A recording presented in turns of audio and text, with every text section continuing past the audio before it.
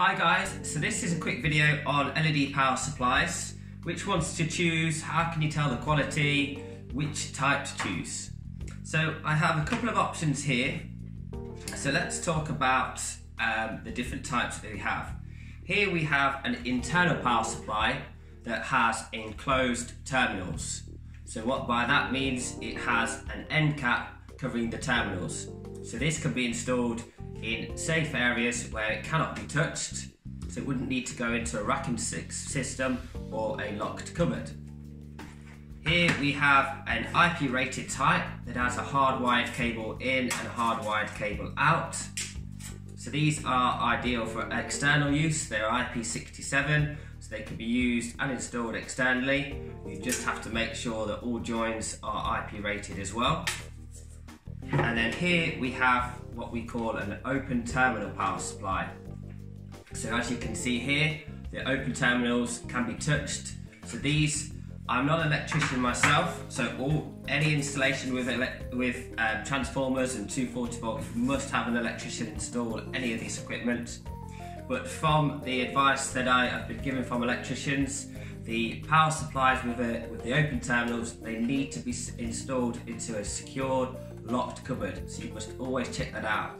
There are so many power supplies out at the moment where people see these power supplies, these type, they're cheaper than these type, so people go and get the cheapest power supply.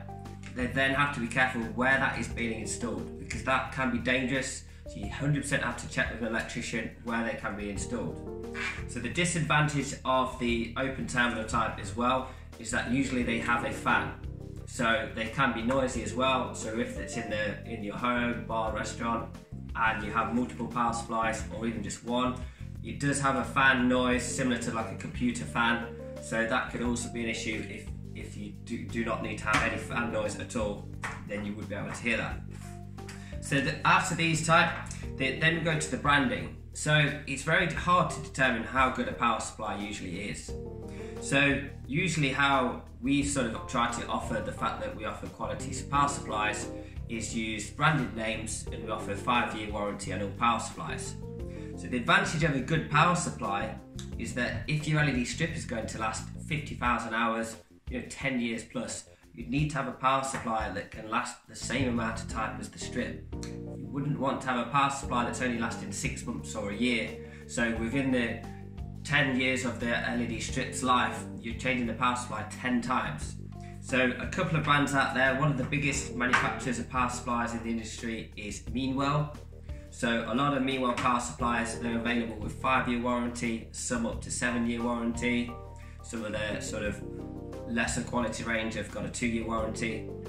So that really is a good indicator. We also supply an in-power range, which are all supplied with a five year warranty as well. So with power supplies, I really wouldn't go for it. Well, depends on the project. If you're looking for a very cost-effective option, cheap strip, cheap power supply, and you're happy with just using it an hour or two a day, then you could go with one that has a couple of year warranty, two year warranty, and that may be fine.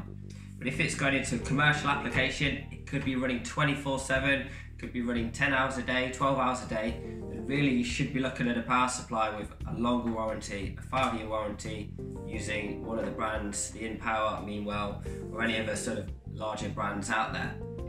So that is, is it on the power supplies. So for internal use, you should really be using the enclosed end cap type. For external use, you use the IP67 type.